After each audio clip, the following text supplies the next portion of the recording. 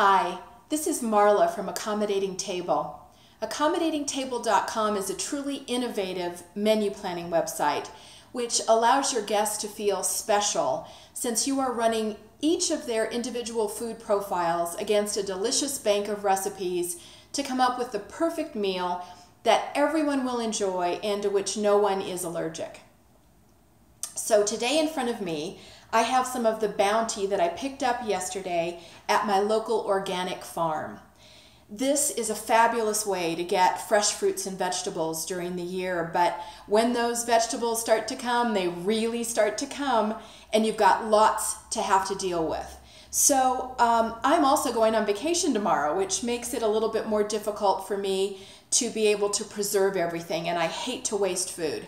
We are going to talk today about some things that you can do uh, with raw vegetables uh, and some things that you'll need to blanch before you store them. I'm not a canner as my mother and grandmother were, so we're going to be freezing things today. And some things you can freeze uh, raw. Uh, I am particularly sensitive to the acid and enzymes in onion. So I just cut my onion and I uh, freeze it in a freezer bag.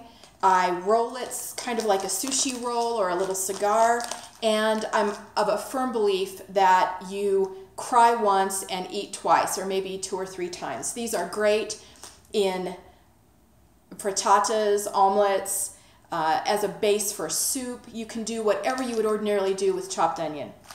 I do the same thing with garlic. And isn't it fun how garlic comes from the farm? I just love it. Uh, you, I add to these bags. So if I have a garlic, half of a garlic clove I've not used, then I'll just put that back, pop this in the freezer, and I can take uh, about a, a, teaspoonful or whatever I need at any time that I'm going to be using it. So um, I do the same thing with bell pepper. So you just smash your bell pepper down with your hand, and you can julienne this And then you pop this into a freezer bag, hopefully labeled bell pepper.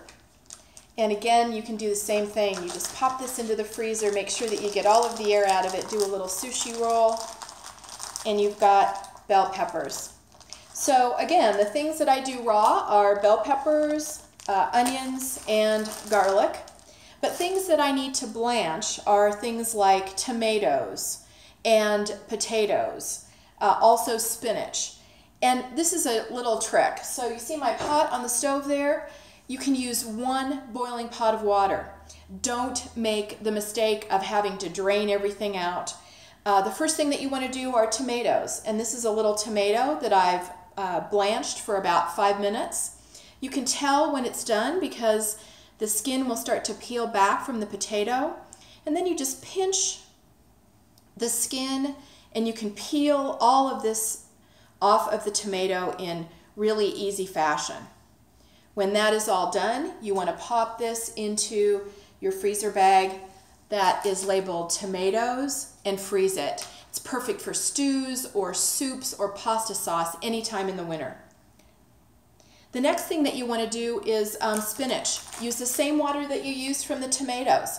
Pop your spinach in there until uh, it blanches. It's going to reduce quite a bit. This was a half a bag of spinach uh, that I had left over and again pop that into the freezer. Uh, and finally, potatoes.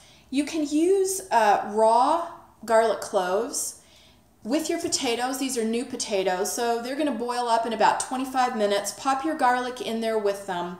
When you're all done, let those cool, pop them into a gallon bag, and then you can make the garlicky mashed potatoes recipe from Accommodating Table and just uh, thaw those out, add the cream and butter and salt and pepper, and you've got perfect mashed potatoes.